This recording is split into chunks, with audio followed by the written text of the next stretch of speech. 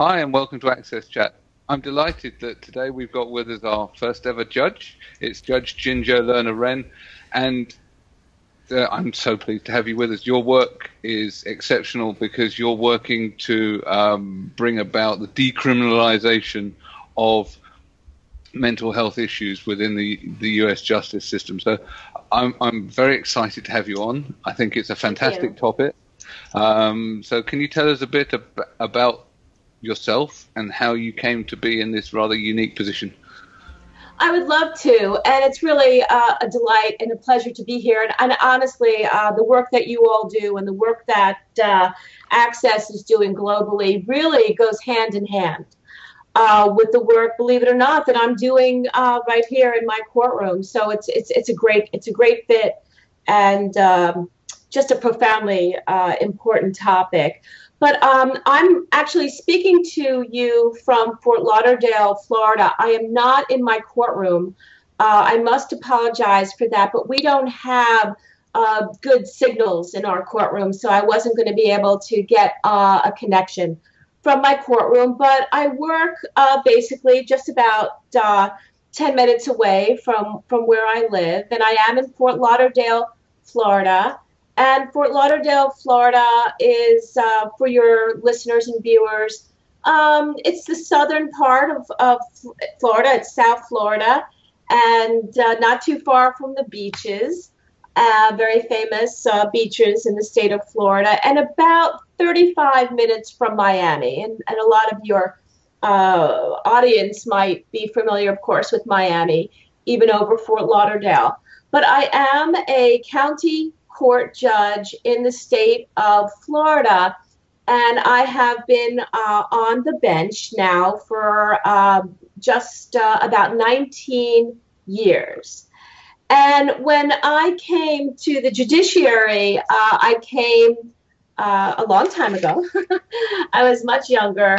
And I came out of a civil rights um, uh, advocacy sphere working for Disability Rights Florida, which at the time had a different name, and it was called the Advocacy Center for Persons with Disabilities, Inc. And I ran for office. I ran for office with delightful ice spiced, individually wrapped gingerbread cookies. And I always wanted to uh, be in public service and I always wanted to run for elected office. I just didn't really know which office for me would be the right fit, almost by a process of elimination and because of my intense uh, passion uh, for civil rights and for uh, policy. Uh, generally, I thought the judiciary actually would be a very good fit because justice. Um, overriding for me was a really paramount social justice was a paramount uh, desire for me to work on. And so when i was working for disability rights i had a very unique role. Um, i was actually recruited to serve as a plaintiff's monitor on a federal class action over one of our regional psychiatric state hospitals in South Florida that serves essentially almost the southern half of the state. It had been under a uh, under federal litigation for many many years because of conditions, lack of um, treatment, and all of the kinds of negative um, conditions that one would expect um, in a state psychiatric uh, institution, uh, particularly in the South, uh, and particularly in a state which has uh, which is at the bottom of funding for mental health in the entire United States of America. And so there was a settlement agreement after many, many years of litigation and negotiation and this settlement agreement was really not only intended to um, enhance and improve all the conditions and treatment, et cetera, and civil rights for the residents and the patients at the hospital, but more importantly, it was intended to drive the individualized um, treatment discharge planning of the residents, of the patients or consumers, whatever language you choose, leaving the hospital into the community. And so the discharge planning process that I was uh, responsible for, together with all the other implementation um, provisions of the settlement agreement, all fell to me. So for over almost two years, I literally practically lived at the state hospital. Um, I was in charge of our entire class, which was all of the people evolving in and out of the state hospital. And it was my job to follow the individuals upon discharge, upon deinstitutionalization, if you will, into the community. And so I would assess, evaluate, and monitor uh, the quality or the lack of quality of the discharge plans and communicate directly back to our uh, general counsel and to the expert plaintiff's legal team that was quite interdisciplinary and incredibly expert um, and so that another phase of the settlement agreement could be triggered.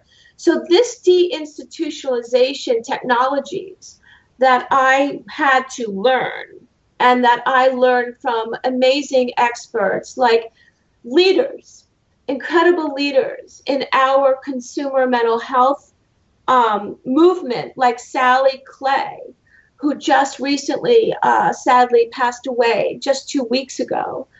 Um, she was on the plaintiff's team. We had innovative um, mental health system of care people um, and technologies that were taken from Boston University Center for Psychiatric Rehabilitation regarding uh, choice and a person centered approach, and um, just really uh, technologies and evidence based practices uh, in terms of recovery and civil rights and consumer rights, et cetera, and systems of care that we're still talking about and trying to get implemented today.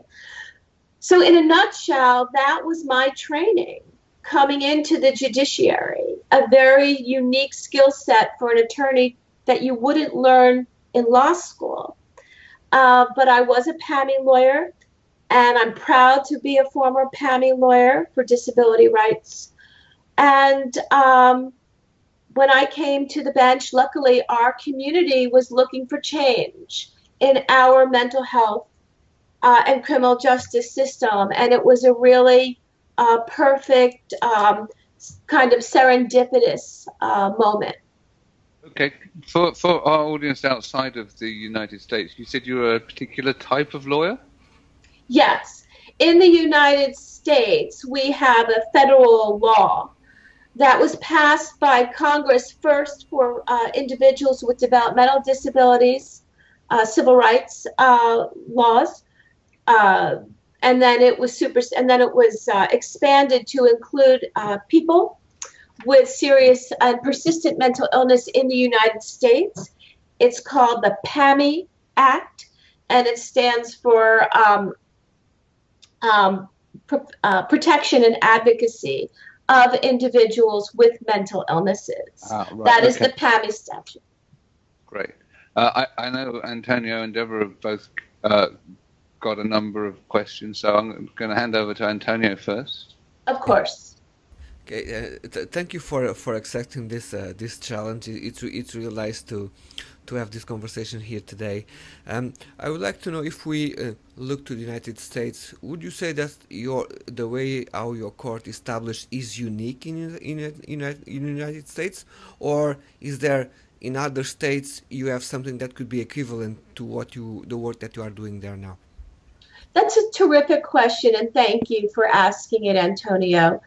Um, the Broward County Mental Health Court that began in uh, May of 1997 was the very first mental health court in the United States. And of course, the court is not considered a program. We consider the court a human rights strategy, and it is a problem solving court which applies therapeutic jurisprudence. It is not an adversarial process. The problem we were trying to overcome in the United States was the unjust uh, criminalization of people with serious mental illnesses and related substance use disorders and neurodiversity types of disorders being arrested simply, largely, because they cannot get access to treatment services and housing. So uh, I think it's a, it's a hugely important point because certainly even in, in the UK we see large proportions of the prison population uh, have mental health issues or have neurodiverse conditions. Huge number of people with dyslexia in prison. Um, Absolutely. And and again, people who are um, not able to communicate uh, in a in a way that uh, that would enable them to stay out of jail tend to end up in jail, even though the the, the, the misdemeanors are quite minor. And that's right. And we have a, a large homeless population. Uh, you know, family erosion occurs when there's unmet, um, you know, treatment for people with mental illnesses. That's one of the consequences. And we really wanted to use the court similar in a way to the drug court model, but different. So we did borrow some uh, philosophy from the first drug court in the United States, which happened to be implemented in Miami in 1989. But it was really the therapeutic jurisprudence model that asks the question can courts become agents of healing? Can courts of law act as an agent of healing? That is this. That is the theoretical hypothesis and question uh, and science behind the law reform movement, and it is a movement all over the world of therapeutic jurisprudence. And I'm very proud to say that TJ came right out of the University of Miami, uh, right here in the state of Florida, uh, in the in the mid uh, and late 80s. Excellent, thank you, Debra. I know you've also got a question. I have a thousand questions, and I'm um, just. I'm t- I'm just really really excited to have you on today because I think the work that you're doing it it, you know, speaking from the United States, it is so critical. We see over and over again um, our legal system, our, you know, misunderstand. Th- there's just been some horrible stories of the misunderstanding between, you know, people with disabilities, people with severe mental health issues, and our, our police and our legal system. And, you know, people of color, you know, being, you know, there, there's just so many problems in our beautiful, amazing country here in the United States. And it's, sure. and, and, I think, yeah, I think some of the things that, you know, the private, privatization of the prison system in the United States, it's, um, we like to say sometimes in the United States, we're number one, we're number one. But the reality is we don't want to be number one of putting our, um, our citizens in jail. And right now, we put more people in jail than any other country in the world. And I think that's um, that, that that's really um, something that a lot of Americans are very disturbed by. So I and and, I, and, and for good cause. And I'm very happy to know that that debate, you know, is really uh, so enhanced here, and we're really. I, I, I, think that the reform efforts, you know, are moving in a very nice uh, pace. We could do better, particularly for individuals with disabilities. But the but to reduce mass incarceration in the United States, you know, I really, really applaud, you know, the activism that's going on.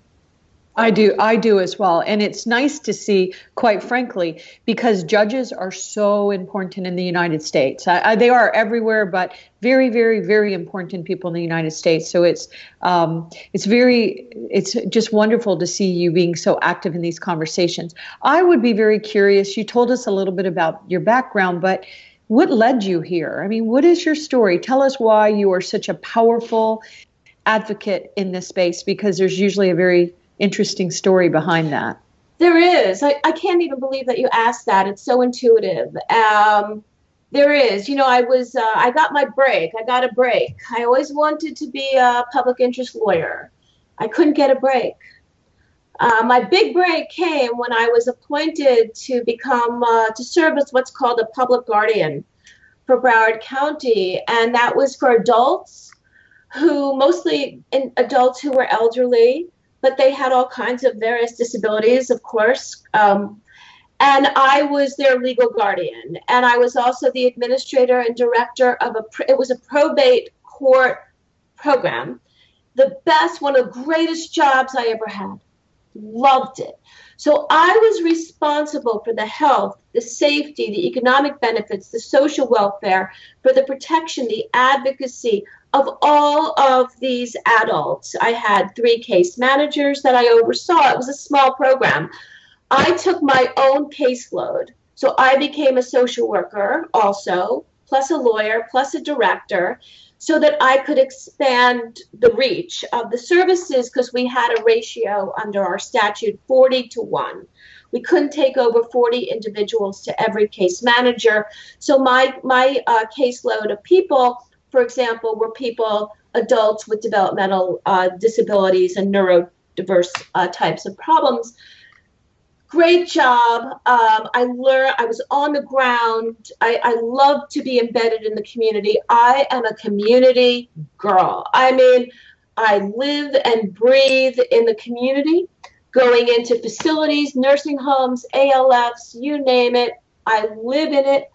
That's where I choose to be. It gives me the greatest joy uh, in the world. And while I was doing this uh, work for this program, during the course of about 10 days, I had a very uh, unusual, disturbing experience that led me to believe that I needed to make a change in my life. And that is that three families came to my office unannounced, no appointment, in absolute emotional, distraught conditions, begging me to take care of it was either their mother who had schizophrenia, or their daughter, or their son. And each family came to me begging and pleading me, pleading with me to take care of their loved ones because they could not find any treatment or help for them. And for some reason, they all said, strangely and oddly to me, the same thing. They said, Somebody told me that you could help us. And I'm thinking, well, who would say that? Who would say that? This program is not for people who have any family members, it's for adults who are declared um, incapacitated under our guardianship laws who have no family and no relatives. So that was an eligibility issue. So who would say that? And I said, Well, I'm sorry. I, I sat down with these families and I spent time with them. I didn't understand why they couldn't get any help. It was the early 90s. I was in my early 30s. I didn't know very much. But by the time I said goodbye to the last family group that had come to see me, and they were, I remember them walking down the corridor in the building right next door to where I sit. I said to myself privately, I made a promise to me. And I said, if I have any any opportunity because these people don't have the energy they are totally emotionally you know distressed they don't know how to advocate they don't know how to navigate. They right. don't know who to call. They need a voice. They need more energy. And I said, if I could help, I will. These people, these families, within three weeks, I got the invitation to go to work at the state hospital, and I went. I didn't ask why, I didn't question it. I put in my resignation and I went to the state hospital uh, to do that work, and that uh, that is the reason. It was the fact that these families were suffering so that they needed all the help they can get. I didn't know I would ever be a judge. I didn't know if I could ever deliver anything, but I knew they needed helpers. And that was really the essence of the story. So, so in other words, it was so in other words, it was about servant leadership and following your path. And kudos to you for listening to that. I'm sorry, Antonio, I accidentally talked over you. No, Go no, ahead. No, I was I was going that this is a type of work that came up from intuition. That's what I yes. was. Yeah. It was intuitive. It was what I would describe certainly as very inspired. Uh, we talk about that all the time. If you listen to the whispers, if you are able to listen to the whispers, as Oprah Winfrey always talked about, um, and I heard it loud and I heard it clear, and I kept my promise, and I'm glad I did. And I'm and glad, we're glad did. you did. We're Yeah. glad Yeah. you did too. Uh, absolutely. So can I can I just interject briefly? So um, we have a similar office of the public guardian in the UK. Um, again, people have enduring power of attorney or lasting power of attorney because they the things differ. But how do you foresee scaling what you do? Because we do need people to take on that kind of responsibility for um, advocating for people that haven't got the um, capabilities to advocate for themselves or the energy or you know because as you said the knowledge. Yeah the knowledge the understanding of systems. So how how can we scale that? Because you're, you're Well, I think that's that's right. I mean, I, I didn't mean to interrupt. Yeah, I mean, I think that's where the system change becomes that transformative policy system change, that cultural change, you know, becomes so so important. Because in the United States, up until the time that Broward and my community, by the way, it's not about one person. It's never about one person. This is about a community that came together and decided that they had a thirst for justice that had to be quenched. They had a thirst for justice that this blind jailing of individuals who needed to be in humane treatment programs and whether it's hospitals or, or in the community in terms of access to care, we're talking access, that we had to do something. That the, and the I happened to come to the bench. I was trained in deinstitutionalization. We didn't have any money. We still don't get any money. But together, these community providers, the mental health treatment providers, the substance abuse treatment providers, that formed a task force and met for two years while I was at the state hospital working and in the community working, following people around to see how they were doing, advocating. They were meeting in the courthouse for months and what turned into years to try to figure out a solution. They couldn't figure out a solution. They wanted to streamline what was happening in our local jail system to people with mental illnesses. Finally, the public defender who leads our public defender's office Howard Finkelstein finally said, "Uh, What do you want? I want my own court. They knew I was coming. They knew I, I had a special skill set, and I think it was what they kind of looked at as a leap of faith. Let her give it a go. Uh, and sure enough, even without any money or grants or funding, together we created a structural pathway to take people out of jail who needed emergency acute care, who needed housing, who needed treatment in a community setting, and we used the court as a therapeutic and a human rights strategy to just really take people from an inappropriate system to one that is appropriate. Now, the cultural change piece is is critical. We have to get funding for our community systems of care. We need to be prioritized people with neurodiversity.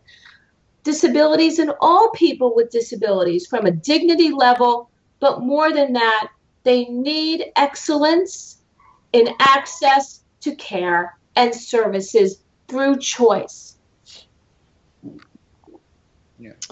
Antonio, Antonio? cutting you across before. No, um, I um, in in the country that I'm from, in Portugal, uh, a few years ago, uh, uh, we have discriminalized drugs.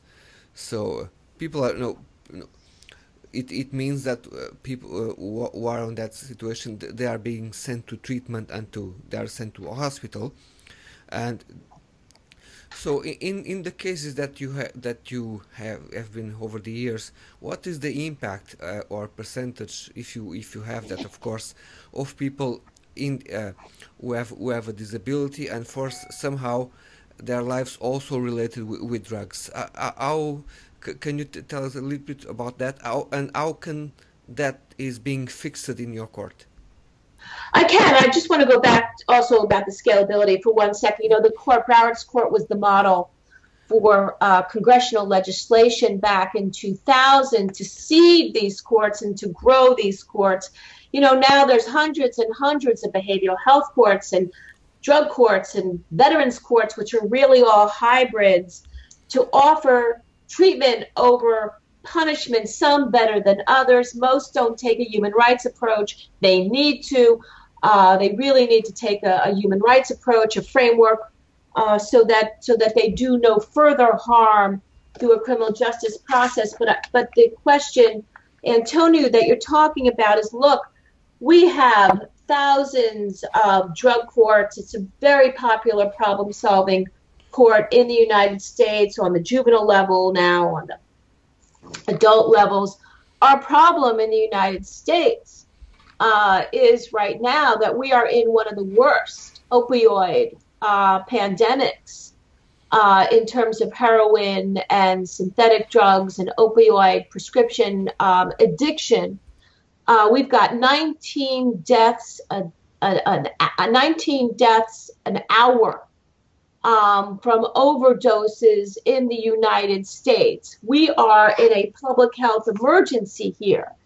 So the idea that, yeah, we know treatment works, I, I believe treatment works. I know our recidivism rate is excellent.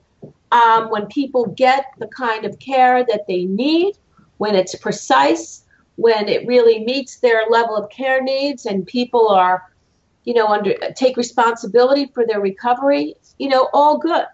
But we've got problems that are much larger than just the core public health problems. We've got problems over poverty. We've got problems over people, you know, that still, because of stigma, can't get or won't seek care. And more than that, we've got a terrific, terrific amount of unemployment, still underemployment and uh, a lot of racial um, tensions that are blocking individuals, for example, from being able to have these opportunities to succeed.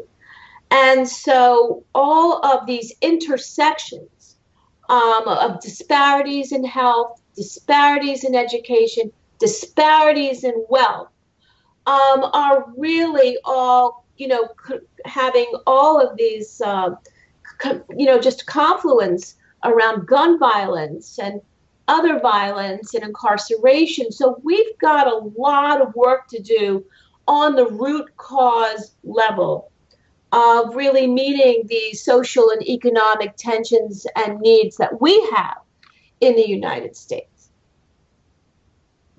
Yes. I, I, I think you're not alone. Um, I think there's a, an awful lot of underlying tension um, in, in, in most Western democracies that that's been building for a long time. Uh, the, the, the cost of inequality and the cost of um, of a penal system that, that, that penalizes illness is, is, is significant and, and I think still growing. So I really salute the work that you're doing. I've, I've got yes. a, a question. I've got a question, and I know Debra's also got some questions. Um, so, how do people? Because you've got all of these specialist courts, how do people get referred? Because obviously, it's preferable uh, for someone with a mental health issue to come through your doors than to go through a normal court's doors.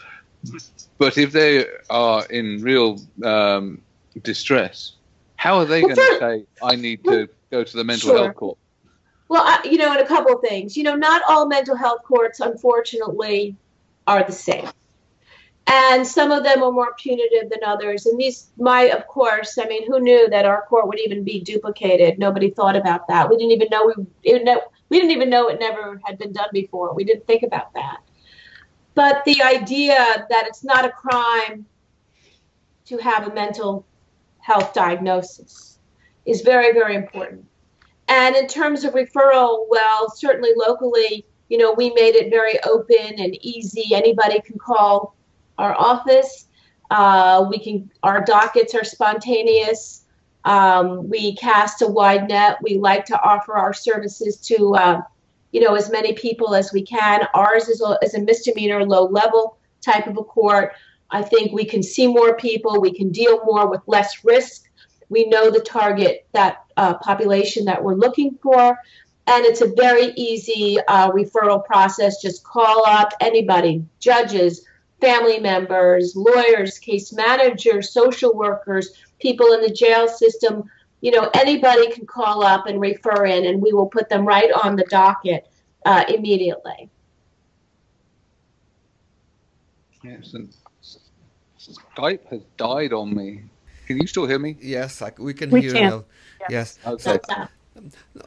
So, considering the, the the the unique position that you were in in the beginning of your career, and to see how the this the the, the judge career go, is currently in the United States, and if, if or if even if you are uh, someone that is a law student, um, have you have the chance to go to universities and tell your story and engage with law students?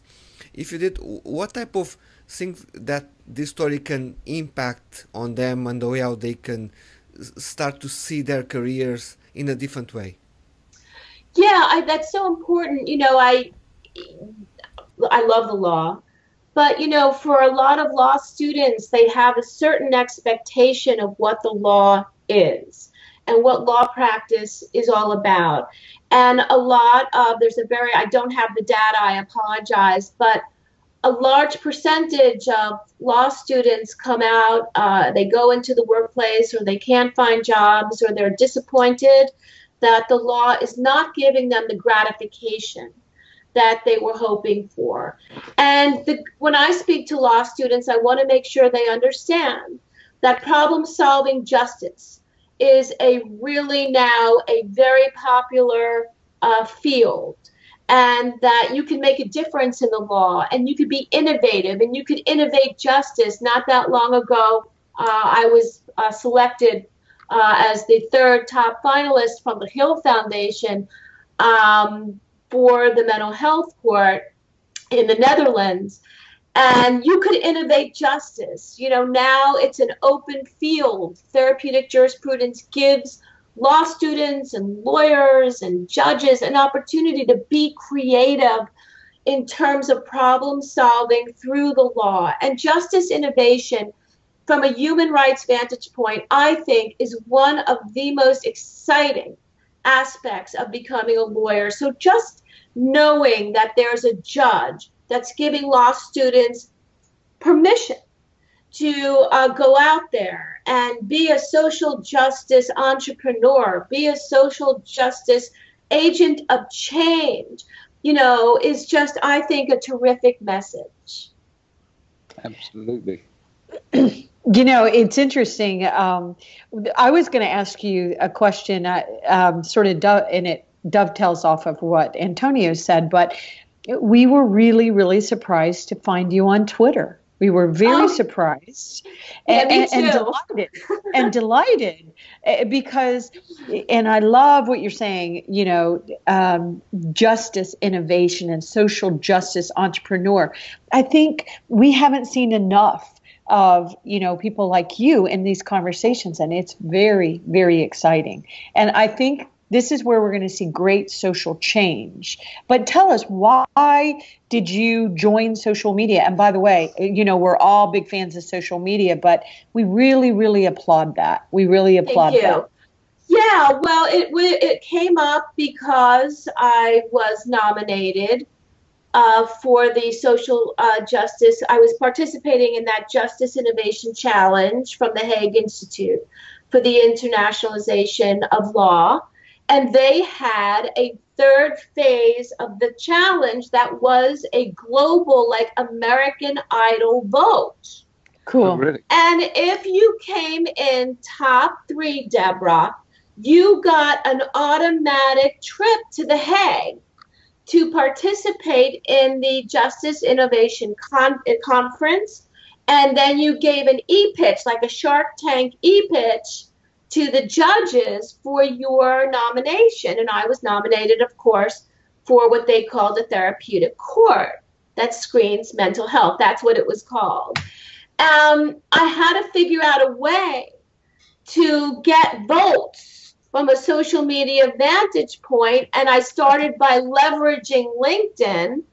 And Okay. then I got from LinkedIn, I went into Twitter because Huffington Post invited me to start contributing um, after the social um, after the Hague challenge. Um, and so one thing just kind of led to another. Now I'm writing on therapeutic justice for the Huffington Post, and it's like, well, now you have to share it, right? So it, once again, as Neil, I mean, as Antonio had said earlier, it's about following your passion, listen to those whispers, and figuring out how you were meant to make a difference in the world. And all of us are doing that. But um, Neil, um, do you want to? I know that we're at the end of our time, but I feel like you didn't get a chance to say much.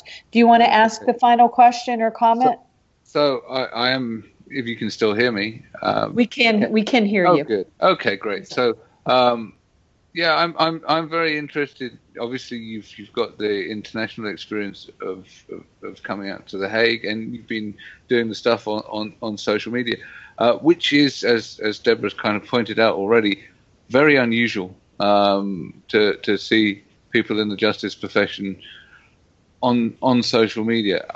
How do, how do you think you can coach your fellow professionals in the legal profession to to or encourage them to sort of dip a toe in the water because it can seem quite scary at first. It is. It's extremely scary, and um, I wanted to make sure that you know you have to be careful uh, because there's tremendous ethical considerations that we have to ensure um, that you don't cross over, and that's not exactly very clear lines. So I encourage my colleagues to uh, get on Twitter, but if you do, you know, don't do any personal content. Uh, I don't do any original content. If you notice, I'm always just doing public policy, uh, social justice kinds of sharing with reports and articles and data and research or my own work that I write, which is all policy. I don't, I don't, you don't hear me editorialize. You don't hear me really in my own voice, other than what I'm sharing, which is all authoritative research uh, and things like that. And I think that it's that's how you educate. That's how you educate people about what's happening in the juvenile justice system or what's happening in the mental health in the in the in the problem solving therapeutic area and about poverty and the law and about you know why it's important for judges and courts you know not you know to really pay attention to individuals who are experiencing toxic stress because they're in financial straits and what the courts can do to support the community you know from all of these areas. And i think that being on twitter is the future. We finally got some clearance to do that from um, the judicial canons but you have to like you said neil you know, you have to start slow. You have to be cautious. And uh, that's the advice I would give. Excellent. Uh, it's been a fantastic chat. I'm really, really pleased that you've joined us. We've, we've hit the end of our time. So um, I'd like to thank you once again, Judge Ginger. Thank you all. Thank you. It's my pleasure. Thank you. Thank you. Bye. Bye. Bye bye.